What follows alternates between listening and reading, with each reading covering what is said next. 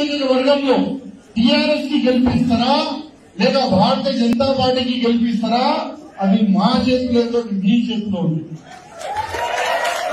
అది మీ చేతిలో ఉంది ఎవరికి గెలిపిస్తారు? టిఆర్ఎస్ కాలం మీరు చూస్తున్నారు. కానీ ఒక్కసారి ఇక్కడ భారతీయ జనతా పార్టీకి గెలిపించి చూడండి. మొత్తం దుబ్బాక రూపురేఖ మొత్తం ఇక్కడ నక్షత్రం మొత్తం మారిపోతుంది. ఇది ఏం కావాలో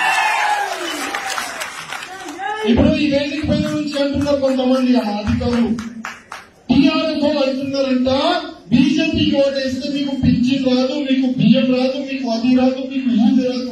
వాళ్ళలో దమ్ముందా? పింఛన్ ఆపేయండి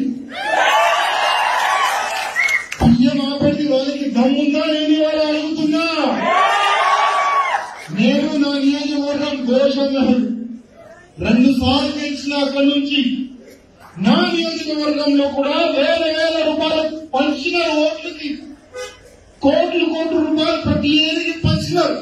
కానీ నా నియోజకవర్గం ప్రజలు ఎలాంటి ప్రజలంటే ఆ డబ్బులు ఇస్తున్నారు. తీసుకుందాం రాబోయే మనకి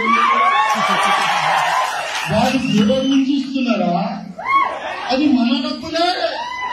మనం కష్టపడి మనం గవర్నమెంట్కి కడుతున్నాం లైట్ బిల్ రూపం కానీ టెక్స్ రూపం కానీ అన్ని డబ్బులు మనకి రిటర్న్ ఇస్తున్నారు మనస్సును మన తీసుకుందాం. కానీ ఓటు భారతీయ జనతా